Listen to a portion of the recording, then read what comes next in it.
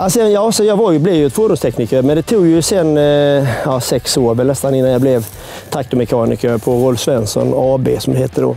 Så vi var ju, hade ju Ford. Rotte byggde ju blondinerna på Ford.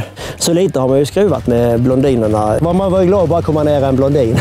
Alltså jag skulle säga att jag, även om då att vara mekaniker, servicemontör eller eh, så här, är ett skitigt och tungt yrke och ganska ensamt och sådär, så är det väldigt trivsamt. Jag gillar ju att, att plocka sönder saker och sätta ihop dem igen. Och jag gillar ju att vara den där hjälten som kommer ut och har grejerna med, helst rätt grejer med sig. Och så står de där och kliar sig i huvudet och är förtvivlade och så är man där två, tre timmar och sen åker man därifrån.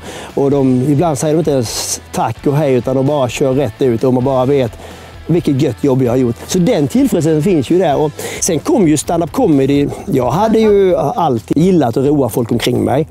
Sen jobbade jag ett och ett halvt år fortfarande som mekaniker medan jag började med standupen. Och det har ju då en del journalister. Men varför gjorde du det? Kunde du inte leva på det från början? Jo, det kunde jag. Ja, men varför fortsätter du? Ja, för att det är ju roligt att vara traktormekaniker också. Och säger man det så säger de va? Men, men så är det ju. Det är klart att det är ju mycket skosammare för dig att vara komiker. Samtidigt så, nu har jag ju haft mitt lilla jordbruk här och jag har haft spannmålsodling. Så laga maskiner fick jag göra ändå. Jag tror att de flesta som jobbade med mig, eller jag jobbade med, de känner nog igen denna Thomas Pettersson också. För det är inte så stor skillnad på det. För att eh, du vet när man är traktormekaniker om du kommer ut till, till en skogsmaskin. En skogsmaskin kostar ganska mycket när den står stilla. Va? Så det är ju rätt så, eh, det är ganska superrörda känslor. Eller om du kommer till en tröska, som det är fint väder och du behöver tröska. Så bonden är ju ganska frustrerad och, och det, det, det, det är inte alltid lätt att komma. Även om man är välkommen så är det inte lätt att komma för det ska helst vara klart nyss. Eh, och då är det viktigt att man har eh, lite personkännedom och lite käften med sig och lite få folk på gott humör.